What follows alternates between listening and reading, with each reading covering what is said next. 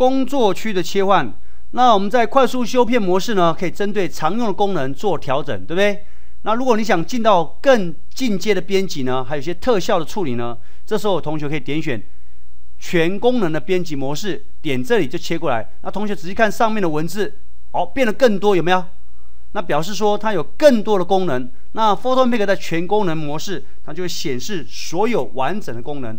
那由下面这个标签可以自进行切换，有 DVD 的哦，全功能。网页编辑等等，好，快速编修，它有四种标准的编辑模式。那至于详细的说明呢，请同学可以看一至三十三页、一至四四页的说明。